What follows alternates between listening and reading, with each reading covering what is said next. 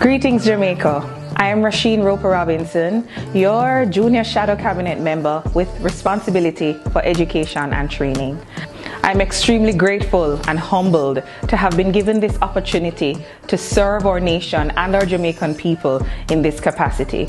I look forward to the myriad conversations that we will have and the work that we will be doing to contribute to the conversation on education and training and the ways in which we can uplift our young people and our children. I am happy to be here, happy to serve you. Let's get this done.